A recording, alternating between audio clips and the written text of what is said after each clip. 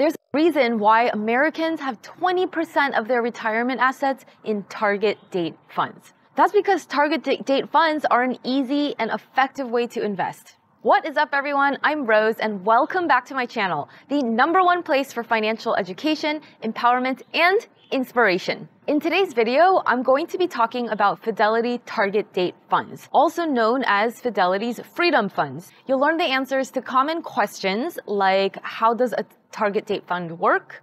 Are Fidelity Target Date Funds a good investment? And I'll also wrap up with some recommendations on whether target date funds are a good fit for you or not. In this day and age, nobody is responsible for your retirement but you. Your country, your company, ain't nobody looking out for you as much as you look out for yourself. And in case you're not aware, many of you actually already have target date funds in your 401k by default. So I think it's important for everyone to understand how target date funds work. Target date funds are mutual funds that target a specific date for retirement. Whenever you look up a target date fund, you'll see that it has a target retirement year as part of its name. I'm 30 years old right now, so I'm assuming I'm planning to retire around age 65. So I'd go for the 2055 target date fund, like this one here. Okay, on a side note, I actually never plan on retiring because I love to work, I love what I do, and I'm pretty sure I'll be making YouTube videos for you until I'm at least 90 years old. Anyway, so why are target date funds age specific? Let's take a look at an example, the Fidelity Freedom Index 2055 fund. So here it is. I've pulled up the fund summary page for the Fidelity Freedom Index 2055 fund. Just a couple things to note here has a very low expense ratio of 0.12%, so that's low and that's good. General rule of thumb is anything under 0.2% is considered cheap. And now, let's just take a look at what's inside this fund. So as I said, target date funds are mutual funds, and you'll see here that there's going to be a number of different funds, usually anywhere from three to five funds inside this mutual fund and they're going to each give you exposure to a different portion of the market. So this is domestic equities and they also have international equities. Equities is jargon for stocks. They also have exposure to bonds and then exposure to short-term debt and net other assets, which essentially means cash. Um, and what's interesting here is so I just want to point out that target date funds are actually a fund of funds because they are a mutual fund that contains other funds inside it. So that's something interesting to note. And because it's a 2055 fund, it's going to have a pretty aggressive stock allocation. So if you add up the domestic and international stock allocation, that is about, what is that? About about 90%, and then bonds and cash make up the other 10%, roughly, just rounding up here. And if we go over to the the 2025 fund, which is for someone who would be retiring in the next couple years, so they would probably be in their 60s, then they would be looking at something more like this, the Fidelity Freedom Index 2025 fund and it has a lot of the same characteristics. Expense ratio is the same, it's just the target retirement year is different. And what's interesting is that, of course, their allocation is a, slightly different. Again, it's going to be a fund of funds. It has multiple different funds in it, but the percentage allocations between stocks and bonds is very different. So domestic and international stocks add up to about about 60%, and then the rest of the the rest of the 40% is in bonds and cash. So as you can see, the 2020 the 2025 fund has 60 a 60 to 40 stock bond allocation, whereas the 2055 fund, remember, has a 90 stock 10 bond allocation. So 90% stocks, 10% bonds. The 2055 fund for the 30 year old has a bigger chunk allocated to stocks, whereas the 2025 fund, in other words, the fund for the 60 year old, has a lot less in stocks and more in bonds and cash. That's because stocks are more volatile. Stocks are pieces of ownership in companies. If the company can sell its products, keep expenses down, and make a good profit, the stock price is going to go up to reflect that success. But that is all based on a very uncertain future and all kinds of assumptions and expectations. So there's really no guarantees. However, on the other hand, uncertainty is exactly what causes the huge potential for growth in stocks. If you didn't have uncertainty, you wouldn't have growth either. So stocks have more volatility, uncertainty, and more growth. However, a 90 year old granny, she doesn't want uncertainty. She can't afford that. She needs stability. And that's why the older you are, the less your target date fund will be allocated to stocks. And the more it'll have in bonds instead. Bonds are more stable than stocks because bonds are essentially loans. They're contractual. And when you own a bond, somebody actually has a legal obligation to pay you back. So compared to stocks, they're a lot more reliable, but you're also not going to get very high returns. You already know what your return is going to be when you go in. In other words, what interest rate you're going to get. And that's that. There's no growth beyond that. Of course, that's assuming you're going to hold the bond to maturity, but that's um, a conversation for another day. I'm covering a lot of information here, so I want to just check in with you really quick with a fun challenge. Now, if you were to invest in a target date fund, what would be your target retirement year? In other words, what would the number at the end of the target date fund that you buy, what would that number be? So do the calculation just really quick, figure out your year, and just type it in the comments below. For me, it's 2055. For some of you, it might be 2065, and everything in between. So whatever your year is, just drop it below in the comments. Okay, in addition to automatically adjusting your portfolio as you get older, the target date fund also rebalances it. What this means is that as the market value of your investments shift, the target date fund is going to buy and sell the stocks and bonds in your portfolio in order to maintain those initial percentage allocations. So for example, when the stock prices go up a lot relative to bond prices, then the target date fund is going to sell some stocks and buy more bonds in order to stay at the 90% stock, 10% bond allocation, or whichever allocation you've started with because the markets are always moving, the pie chart that I showed you earlier, that's always going to shift depending on how the market is moving.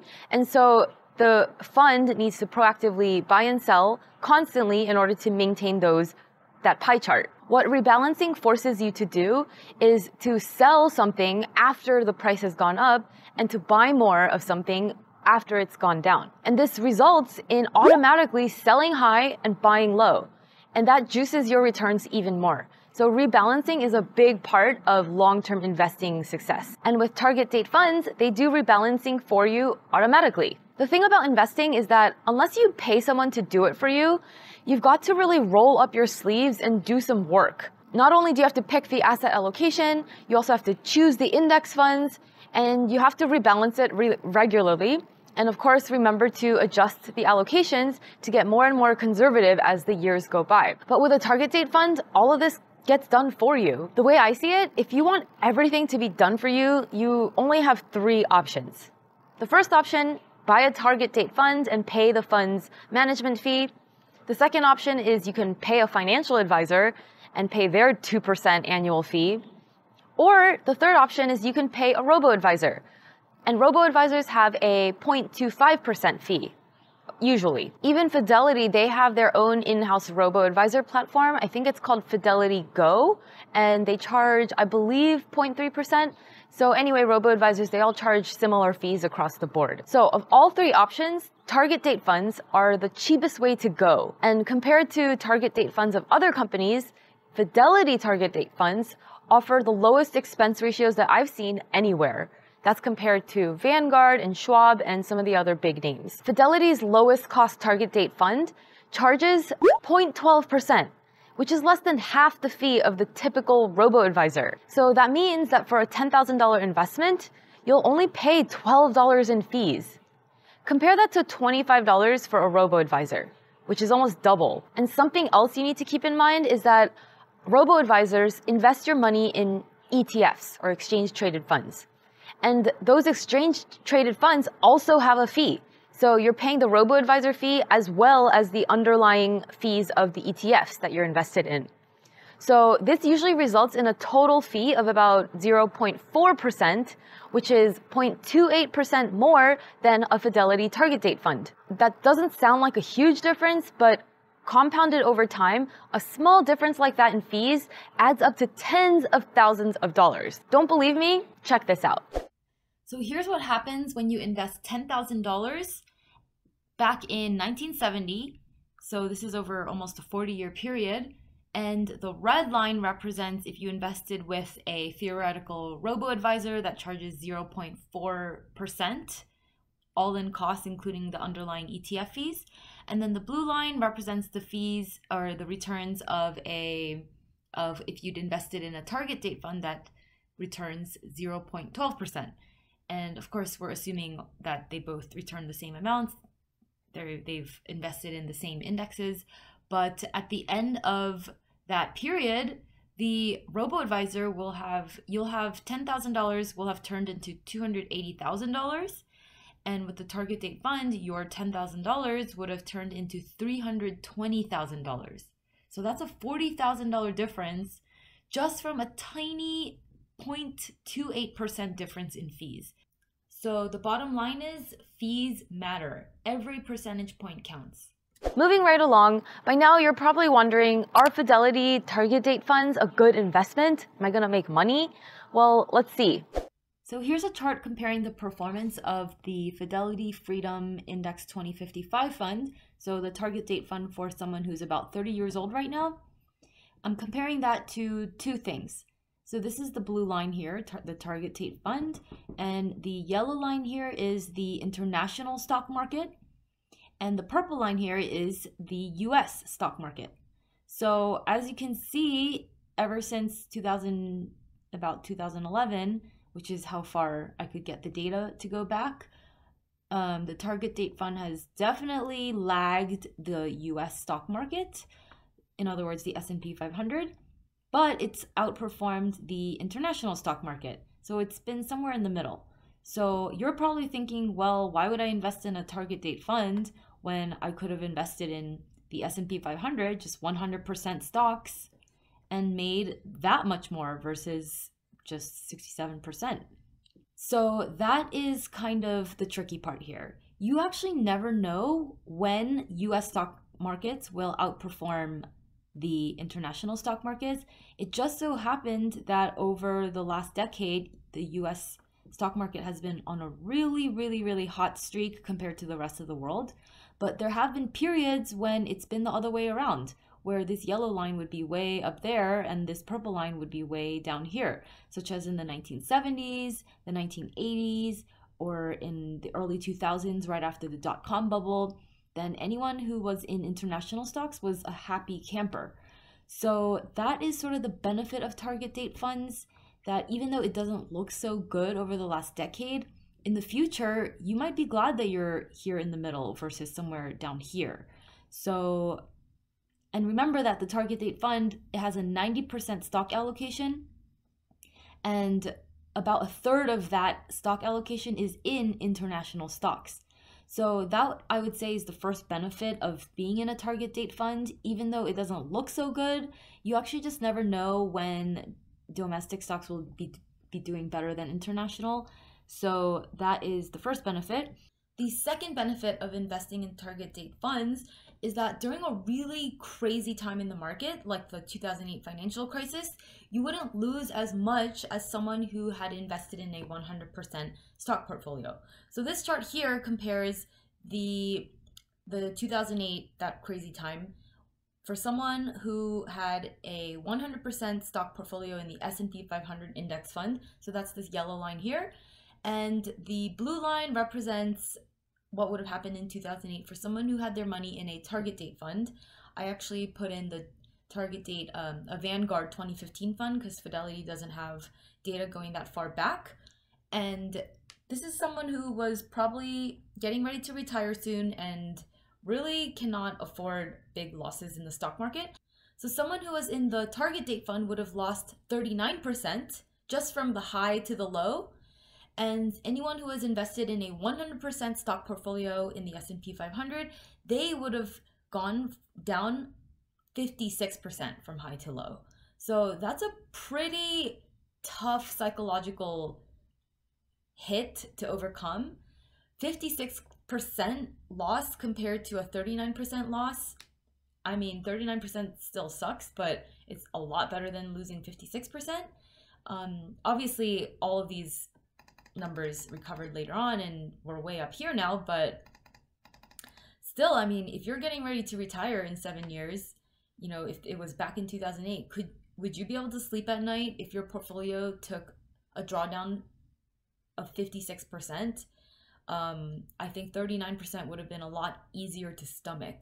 So that is the second benefit of target date funds, which is that because it's diversified into bonds and they automatically move you to a more conservative allocation as you approach retirement age, any sort of market crash, which let's be honest could happen at any time, is not going to affect you as much. If you owned a target date fund during the 2008 financial crisis versus an S&P 500 index fund, it would have been much easier to survive that recession, psychologically, emotionally, and financially. So although the potential returns of investing in a Fidelity target date fund probably won't be as high as if you put 100% of your money in a super aggressive 100% stock fund, but at least you'll be able to sleep at night and you'll experience a smoother ride during recessions. And with target date funds, you'll still collect a respectable 7 to 8% return. If you're considering investing in Fidelity target date funds, then definitely sign up for my free crash course, Get Started Investing How to Build a Starter Stock Portfolio in Just Three Days. You can take action on this course with just $100. And I know the Fidelity website can be a little hard to navigate, so I've also included step by step tutorials so you can just have two tabs open and follow along with me on the screen to set up your very first target date fund investment. There's also a bonus cheat sheet in that course with links to all of Fidelity's best target date funds. So I've made it super easy for you and it's especially made for beginners who need a lot of hand holding. So click the link below to sign up. It's free. In my opinion, the number one hurdle to getting invested is getting over that analysis paralysis. I know there's a, an overwhelming amount of decisions to make just to get started. So most people end up not making a decision at all. What platform do I use? What account do I open? And then once you even get past all of that, it's like, how much money do I invest? And then what do I invest in? So the thing about target date funds is that it completely eliminates this analysis paralysis. They make most of the decisions for you. All you have to do is open your account at Fidelity and pick the year that you are retiring. Everything else will be taken care of for you. So if you've been wanting to put your money to work, but for one reason or another, you've just never gone around to it, then I do think investing in a Fidelity target date fund is a great place to start. So that's it for this video. I hope it's been really helpful for you. Definitely sign up for my free crash course for an even deeper dive into target date funds if you think that's the path for you. For those of you who prefer to be more actively involved with your investments, consider building your own portfolio of index funds and stocks. I've got some great videos on how to do that, so check them out right here. As always, thanks so much for watching. I really appreciate you. Please like this video if you liked it. I post new videos every Wednesday, so I'll see you next week, same time, same place.